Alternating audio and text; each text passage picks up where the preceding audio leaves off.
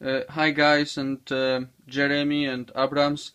Uh, it is my quick update on uh, on the progress uh, with my uh, Slayer Exciter and would like to just show you what I've got.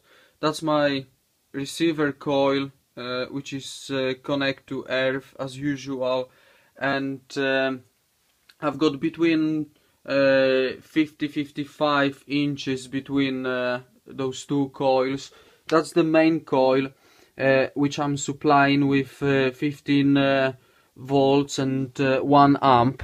I'm, I will switch it uh, on for now. So you can see lovely lovely nice discharge which obviously light fluorescence. And um, what I what I did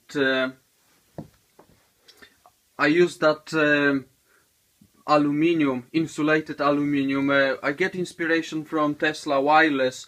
Uh, he said uh, in his patents that he use um, um, he, he use uh, Polish aluminium plate, uh, which in my case worked really well because uh, it give me twice twice the range. I, I couldn't get 55 inches without that aluminium, and the aluminium it isn't connected to anything it's just uh, it's supposed to be connected to earth uh, but I find out that uh, if it's just loose uh, I get much better effect. And obviously it lights uh, fluorescent.